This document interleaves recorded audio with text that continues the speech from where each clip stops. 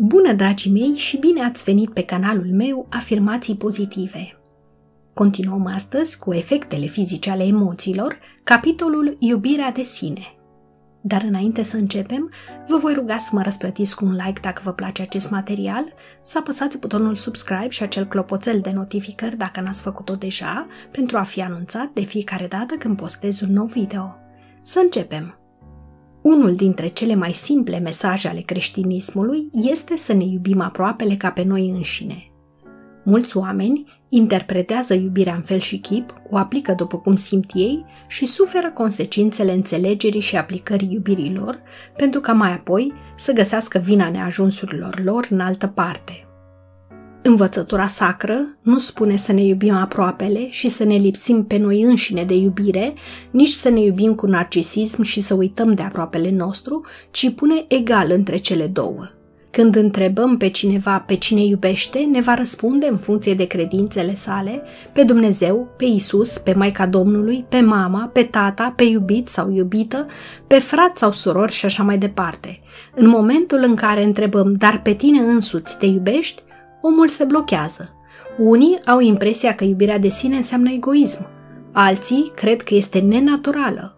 Mulți oameni au fost crescuți cu ideea că e greșit să se iubească pe sine sau că nu au motive să se poată iubi. Se blochează când e vorba de ei înșiși. Să nu înțelegem greșit. Nu spun să ne iubim ego-ul, acea parte a noastră care gândește, dorește, își face planuri, vrea cât mai multe și este motivată de ceva anume. Aceia nu suntem noi cei adevărați, ci doar proiecțiile vremelnice ale sinelui nostru. Iubind ego-ul, cădem în capcara iubirii egoiste. Omul nu poate să se iubească pe sine pentru că e frumos, inteligent, patriot, bogat sau important, ci în mod necondiționat. Firește, toate fac parte din personalitatea noastră și trebuie iubite, însă iubirea condiționată este incompletă. În momentul în care avem nevoie de motive pentru a iubi, vom găsi imediat motive pentru a nu iubi. Dacă credem că numai omul care nu greșește trebuie iubit, exact asta vom face, inclusiv cu noi înșine. Cât de mult greșesc! Nu merit să fiu iubit. Părinții își iubesc copiii doar când sunt ascultători sau îi iubesc doar când copiii își exprimă iubirea înapoi? Bineînțeles că nu. Un părinte își va iubi copilul ca o parte din el, indiferent de felul în care se poartă. Un părinte nu este motivat să iubească pentru că acea ființă născută din el e frumoasă, inteligentă, are un serviciu bun sau îi seamănă leit. Un părinte adevărat iubește necondiționat, în momentul în care ne facem idei despre cum ne vede acel părinte care ne-a dat viață, întrerupem circuitul natural al iubirii. Când copilul crede că nu este demn de acea iubire, el devine izolat. Primul pas către iubirea aproape lui este iubirea de sine – dacă nu ne oferim nouă înșine iubire, nu putem avea pretenția de a iubi sau a-i ajuta pe ceilalți. Lipsa iubirii de sine are ca efect primar iluzia că ne trebuie iubirea altcuiva pentru a fi compleți, iar când nu găsim acea iubire ne întristăm. Cum se face că un om izolat poate trăi în deplină fericire, iar unii din noi suferim de singurătate, deși suntem înconjurați de lume, de familie, de cunoștințe și de prieteni? Putem fi iubiți, apreciați și lăudați de 10, 100, 1000 de oameni de o nație întreagă, dar dacă nu ne iubim pe noi înșine, totul este sec, fără culoare și fără împlinire. Iubiți-vă pe voi înșivă ca și cum ați fi aproapele vostru și iubiți-l pe aproapele vostru ca și cum ați fi voi înșivă. Aceasta este învățătura completă. Unora le e ușor să iubească pe alții, dar când vine vorba să se iubească pe sine, devin critici, iar mai apoi se miră cu ce au greșit de nu sunt iubiți înapoi cu aceeași iubire pe care o dăruiesc. Cea mai mare boală a omenirii nu este nici cancerul, nici prostia, ci ignoranța în ceea ce privește natura iubirii. Spaima și frica De când ne naștem și până murim, ne este tot timpul frică de ceva – frică de moartea părinților sau persoanelor dragi, frică de elementele dezlănțuite ale naturii, tunete, fulgere, inundații, secetă, viscol, frică de sărăcie, de despărțire, frica de singurătate, de înălțime și spații închise, frica de a nu plăcea sau de a nu fi respinși de societate și am putea enumera o grămadă de frici. Dacă privim cu atenție tabloul vieții noastre, suntem veșnic într-o frică bolnăvicioasă – de fapt, ce este frica? O stare de conștiință modificată. Aici, pe Terra, frica este instrumentul de supunere a individului. Trăim toți într-un sistem. De fapt, ce este frica? O stare de conștiință modificată. Aici, pe Terra, frica este instrumentul de supunere a individului. Trăim toți într-un sistem, aparent un sistem creat de oameni. Este atât de bine pus la punct prin frică, încât funcționează perfect de mii de ani. Copiii, când se nasc, nu au frică de nimic. Merg spre foc, spre apă, spre obiecte ascuțite, cu o lipsă de frică dezarmantă. Noi suntem cei care, prin sistemul de protecție, le introducem frica. Una este să înveți prevăzători și alta este să le baci frica în sistemul de credințe. Dacă încearcă să iasă din sistem, încep represaliile fizice, psihice, morale, făcute special să-ți inducă frica. Energia fricii e o travă latentă. Te învăluie treptat și e suficient un impuls ca să se declanșeze sistemul. Tensiunea crește brusc, inima îți bate în ureche și te pomenești scutura convulsiv. Îți spui mereu, nu fac asta sau aia pentru că mi-e frică și chiar ajungi să-ți fie frică și de umbra ta. Frica vine din necunoaștere și din nestăpânirea situațiilor de orice fel. Nu este nevoie să faci acte de bravadă prostești, dar nici să trăiești ca iepurele tresărind la orice zgomot.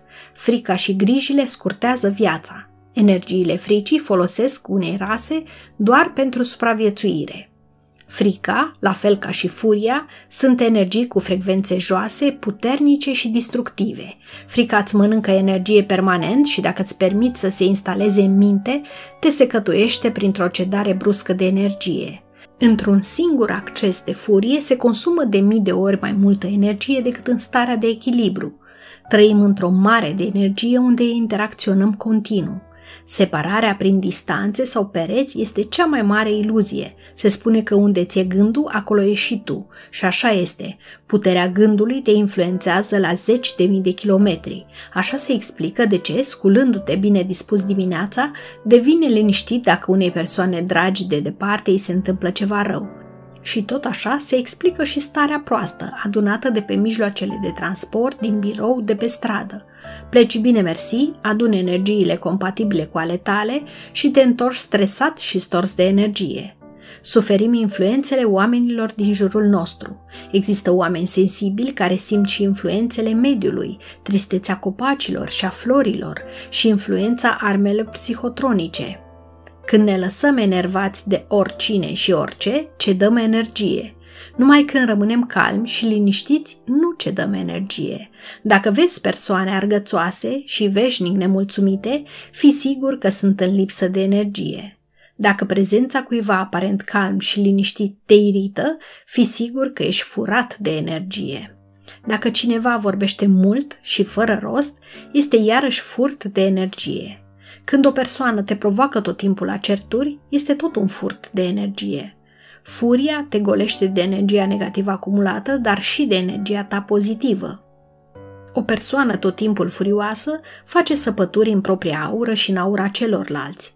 Prin stări de furie repetate, este devastat întregul organism și boli grave de rinichi, pancreas, sistem nervos, inimă ajung la ordinea zilei.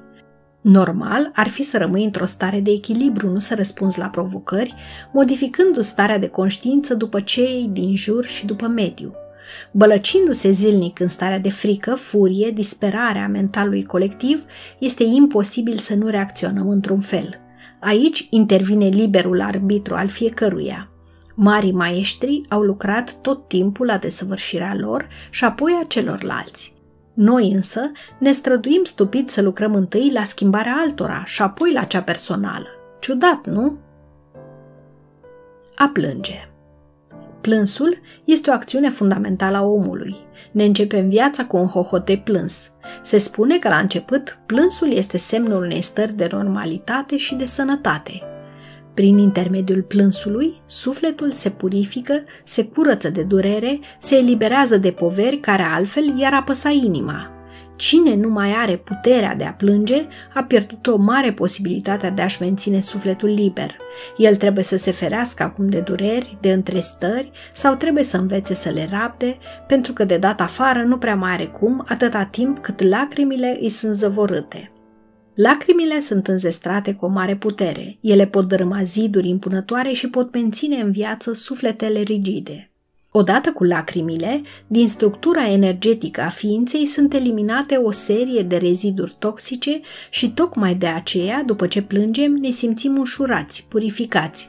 Parcă ne luminăm din nou după ce plângem și aceasta se petrece pentru că plânsul ne ajută să ne împăcăm cu orice situație. Plânsul este un mecanism de apărare primar și este bine să nu-l inhibăm prin gânduri de genul a plânge este semnul unei slăbiciuni sau oamenii puternici nu plâng niciodată. Este adevărat că cei care reacționează prin plâns la cei mai mici factori de stres nu au fost capabili să-și dezvolte unele mecanisme superioare de apărare împotriva stresului, dar nu trebuie să se abțină de la plâns doar ca să pară puternici în fața celorlalți.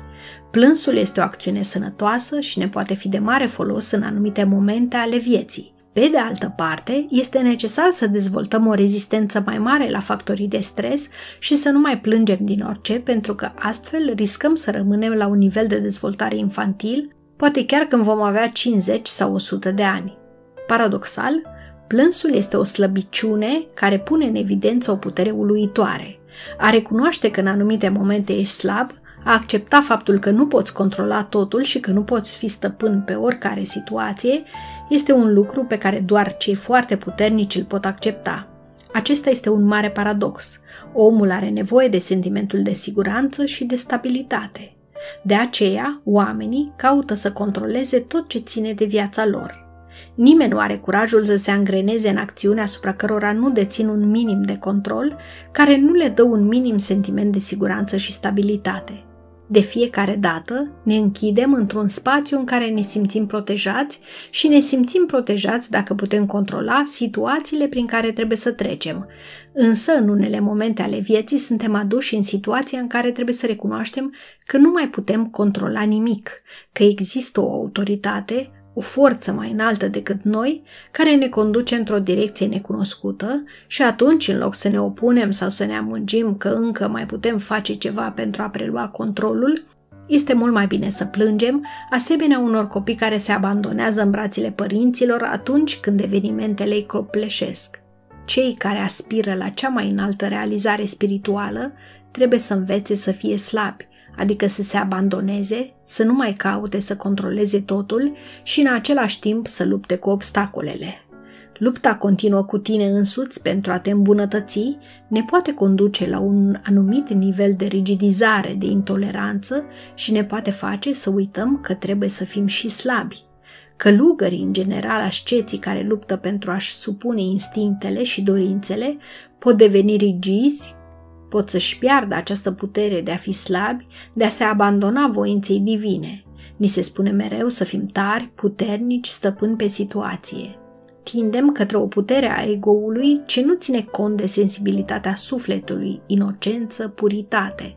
Să învățăm că adevărata putere constă în sensibilitatea sufletului, în bunătate și dragoste, mai sunt și lacrimi de bucurie. Ele apar atunci când succesul a fost precedat de sacrificii mari, de eforturi intense, de așteptări și dureri.